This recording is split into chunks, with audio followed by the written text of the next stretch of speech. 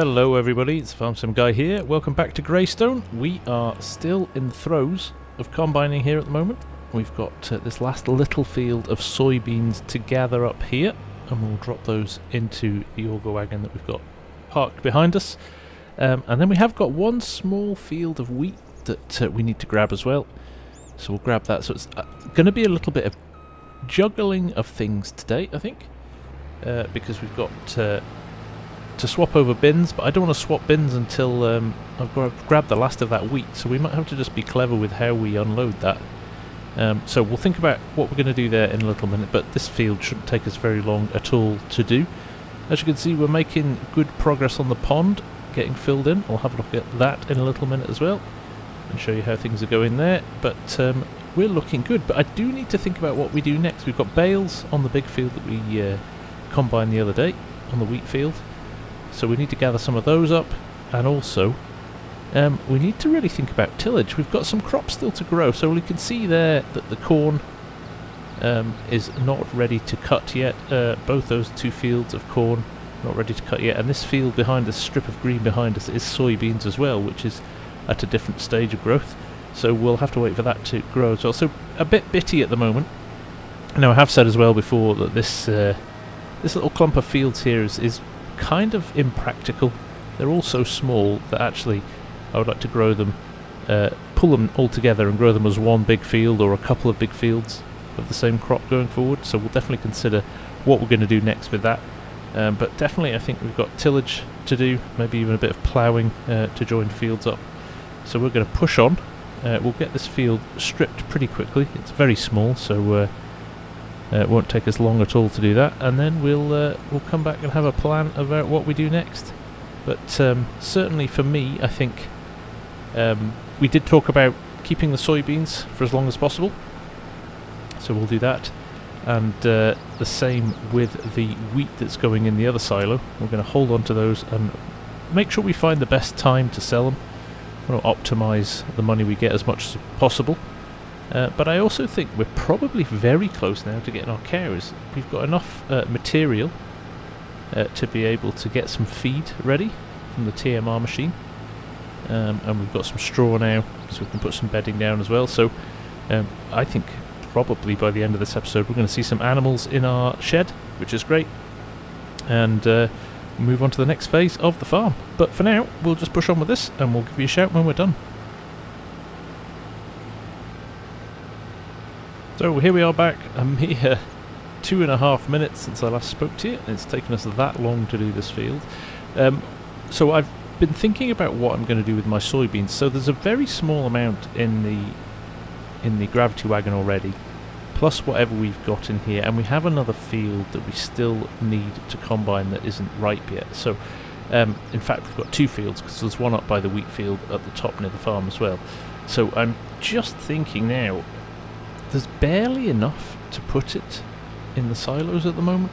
So I'm wondering if it stays in the gravity wagon. We have only got one small field of wheat to do, so I'm wondering, do we go and grab that field of wheat and just use the combine, use the auger on the combine, because it's the last. It's going to be the last bit of cutting we do uh, for a little while. Is use the combine just to dump it into the uh, auger, um, and then we can close off that. Uh, then we can close off that silo uh, and put it to bed, and then we'll just hold on to the other stuff in the uh, in the gravity wagon until we've got these other two fields, and it shouldn't go off. I don't think. I think we're only looking at you know a couple of days of waiting. It's not like it's going to be sitting in there for months, so we might uh, we might try that. But um, just for now, let's get this unloaded and uh, get the combine over and doing that. We, as you can see there, the pond in the background, that hole is getting smaller and smaller day by day. Uh, we'll jump back to that in a little while and see if there's anything we can do there. They've gone home for the day. It's coming up to uh, uh, half past four in the afternoon. Um, so they're done for the day. So let's get this into the gravity wagon and we'll run the combine back to the farm. It's probably not far off. Oh, I did repair it in the last episode actually, but it's looking quite dirty. We'll maybe give, give it a clean after we've uh, finish the last of the uh, of the wheat and give it a wait until uh, the next few uh, cuts of harvest in the next few days. Right, let's get this back to the farm though. As you can see, they're doing a great job on the pond though. There's a lot of um, undulations that they've dug out. Uh, it's going to make a great uh, new field that, and again I might link that. There is a bit of a ground change there, but I might link those two fields together into one big field. Could be good. Uh, and we've got quite a nice uh, supply of stone here that we're uh, collecting as well. That's going to be worth some money. We'll take that down to the lime production point at some point in the future as well. Um, might have to ask them to keep that big excavator, that digger down here, at least for a little while until we've gathered all that up. Um, but we have got a very small wheat field behind the smallest ever soybean field. I mean, look at that. It's a postage stamp. So, um, let's grab this wheat here and we will dump it straight into the silos.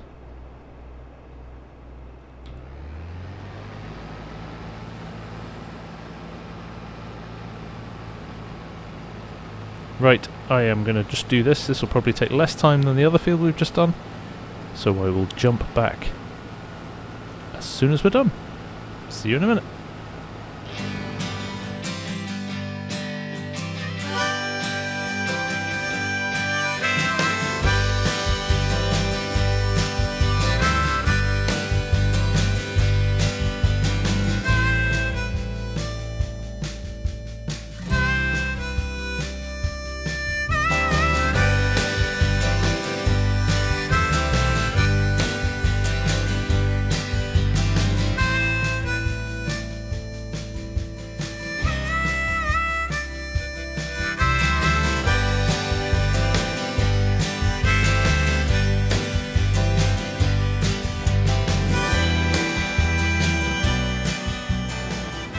Okay, here we are. We're just grabbing this last little strip here. We are done. There's actually a good amount of crop in here. 66% of a, uh, a tank full. Um, so more than I was expecting, which was good. Uh, must have been a, a, decent yield on that field. So let's grab it now. We are done. Let us run over to where our uh, auger is. And the little Allis Chalmers. And we will fire it up and we will get it unloaded. Now look, we disconnected the Allis last time we were here, so we better reconnect it. Now, Scooter did tell me, Scooter's workbench who, uh, who did this auger, did point out, see that uh, little tiny square there? That is a helping hand for where you want to park your tractor so that it's in the right place. So when you connect the auger, it doesn't move to left or right. So let's give it a go, shall we? There you go. Absolutely perfect. Brilliant. Now I also, if I remember correctly, shut the lid on this bin, so we probably want to just nip around here and open it back up. I want grain spilling out all over the lid of the uh, bin. That wouldn't be ideal, so that's that done. Let's jump back in the combine and see if we can get this unloaded directly. Well, that's a result. That saves us uh, wondering where we were going to put this, or where we were going to put the soybeans. So we'll let that unload, and we'll park this up for a little bit. Okay, that's done. We will just check the amount we've got in here. I think I just need to run round to the unload part here, and it will tell me how much is in here. There you go, 88,000 litres. So, not huge amounts, but we are a small farm. 88,000 litres is not bad not to be sniffed at. Um, and we will rate, wait for the right time for that to be ready to sell. We don't need uh, to get rid of it just yet, um, so we shall bide our time. Okay, like I said I'm going to park this up for a little while. There's the corn header there as well, so we'll just leave it next to that.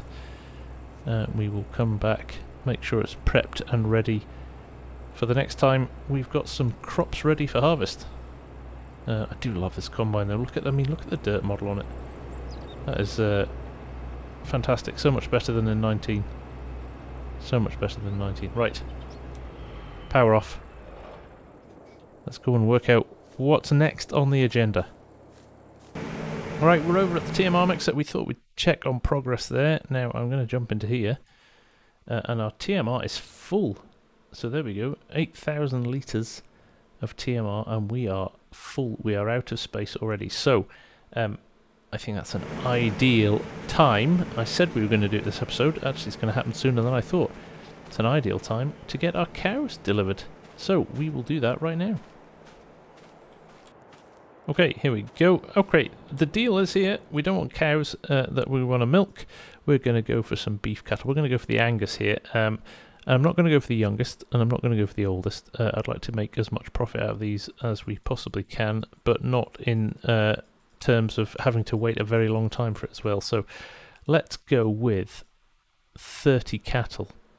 That is 36,000. Um, that's eating into our money a lot, but it also is going to give us a return on that investment as soon as we can get it. So there we go. We are done. We need to sort them out with a bit of water and a bit of food. So we'll do that right now. And, uh, and then we'll take things from there. But they are looking good over there. I'm just going to pick up the Orkel trailer here that we have just purchased because I realised I didn't actually have any trailer for moving product about. So I'm kind of hoping it's not ideal, uh, but feed wagons were expensive and I don't have the money uh, at the moment to uh, fund one of those, so a standard trailer that we can use for other stuff was more beneficial to me. We can even use this potentially for our stones. Um, but let's run this under the uh, unload point for the TMR machine and get it filled up so that that can keep producing. So if I just roll under here like so, make sure I'm not going to bash into it.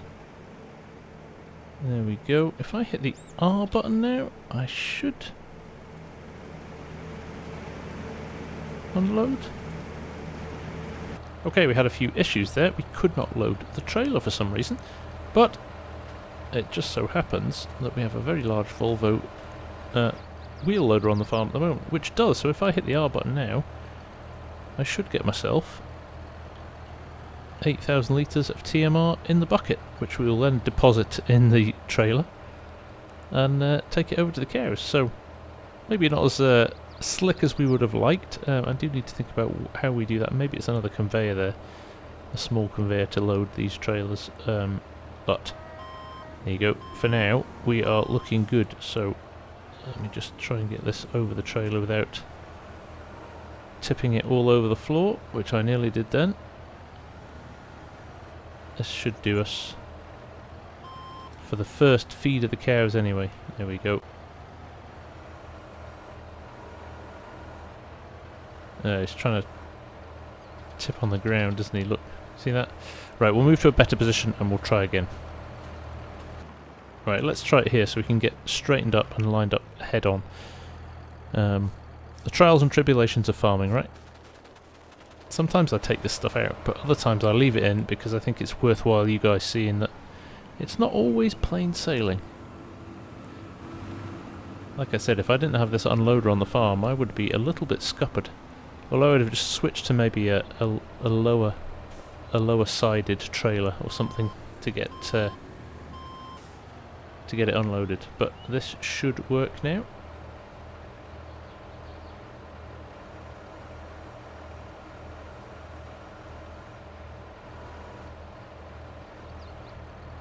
Well, there you go. After all of that, this trailer doesn't take TMR as a fill type. Nothing like paying attention to the instructions, eh?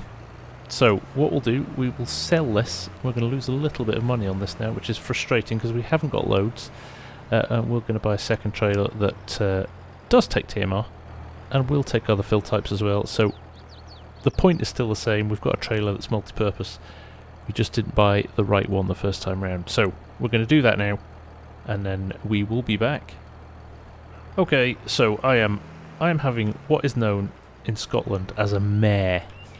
I have got a trailer that's perfectly adequate for doing this. Guess what? It's even got a lovely side unload on it. It's a forage wagon. It's full of grass because we brought that from the field. We can use that for our TMR. We don't need another trailer. I am honestly I'm disappointed in myself. So what we'll do, we'll run the Allis round, we'll get that grass unloaded, and we will go and feed our cows. Now, just as we uh, reverse the Allis up here, I am concerned that it won't work with the conveyor uh, from the TMR machine, so we may need a, a way of getting it in there. We'll try that at another time because we've obviously got a bucket full of TMR now that we can uh, we can use. Uh, but yes, for the future, I think we'll uh, we'll do a test on it. But currently, I think we're in a good place. Let's just try and get this as perfectly placed as we can. That looks okay to me. Let's get this grass out of here. And we'll try it with the TMR. Honestly, sometimes I do wonder what I'm doing. Pretty sure you lot do as well. There you go. All the fun of farming, right? Is it going to give me a trigger? It is going to give me a trigger. Now this does take quite a long time to unload, so we'll pop back uh, as soon as this is finished. Okay folks, there we go. Trailer unloaded. Finally. Honestly, it's taken about three hours to feed the cows. Let's see if we can actually make some progress now. Let's roll it over here. Let's see if this works. If this doesn't work, I'm just going to turn the engines off and go home for the night. But it should. We should work now. There we go. TMR in a forage box. Other trailers indeed. Okay, we've sent the digger back to the pond to get on with his work, and we will roll this in here. Now I'm hoping that we get a trigger. I don't know where the triggers are in this shed. That's not, not looking that promising, but that is. Fabulous. Oh, we're tipping from the back, are we? Oh well, if it works, it works. There we go. We have got 30 cattle, so I do think we are going to need a lot more food than this, but that is a good start. They've got some food, and that's all that matters. And because the TMR machine is still working, and there's got lots in there actually, we should uh, we should be okay. Now, one of the things we do need to do is keep going and picking the grass up from the field as well. But we have got quite a lot in there now, so that is a bit of a win. Now I just want to check something that we can collect from here. Will it fill up this trailer? The sides are too high, so visually it might not work, but if we roll over the trigger and it gives us something, I'll be happy with that. Although that said, it's not a million miles off. But no, we're not getting the trigger. The trigger is lower down than that, so we are going to have to get a conveyor belt or something to uh, pick up uh, the TMR from inside here, which is fine. Uh, let's just check that we have actually got some TMR. We do, so um, that should have triggered it if we'd uh, got something the right height, but we don't. So um, yes, maybe a small conveyor belt or something here to load trailers will be good. Uh, but we'll worry about that another time. Uh, this is fine for now. I think we're probably going to get ourselves stuck into a little bit of tillage now. It has been um, it's been a long time coming. It's been a lot of dithering about. I think is the is the phrase we could use. Right, there we go. Let's leave that there and let's go and get um, some tillage equipment. Well, let's get in the big tractor. We have got the plough in the shed, so technically it's not tillage, it's ploughing got an old school plough that we're going to get sorted now, but uh, there it is, tucked in the corner. So we will grab that, and we will start on the bigger oat field, I think. It's been sitting there the longest. We have got the rock picker there as well, so we can go and collect the rocks. After that, again, to contribute to our funds. Definitely helpful that we've got those. Looking at the amount of money we've uh, been spending recently. So let's uh, let's crack on here. Do I need a weight on the front? Or I'll probably do. But for now, I think we'll uh, we'll take our chances, hoping that the uh, front hitch has got enough weight in it to keep us uh, keep us sane. Right, let's head over to the oat field. We'll get that ploughed and uh, we'll see where we go from there. It is getting quite late now, coming towards the end of the day, so we don't want to do too much tonight. Uh, so we'll head back in the morning, but uh, it would be a good job to get this one out of the way.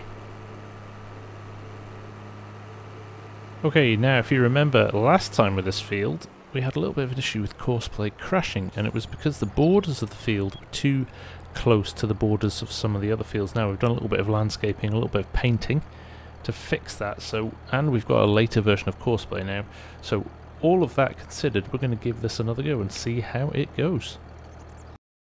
So we're going to open up the course generator here. Everything looks good. 9.2 feet. Yeah, that's probably about right. Panicked for a second there. I thought that was uh, um, meters. Um, we're going to go clockwise. A little bit of an overlap on the headlands. Um, I think everything else looks quite good. Let's see what happens if we do this. Well, sadly it looks like the same issues with this field that we had before, so it looks like we're going to have to do it manually and when I say manually, I mean with GPS, but it means it's going to take us a little bit longer. Means we can't do any other stuff, I suppose. That's the frustrating thing with that. We were going to go and collect the rest of this grass, uh, maybe do a few more bales. It looks like we are stuck doing a little bit of ploughing for a bit. Not that that's a bad thing, so we'll jump in and we'll get on with it.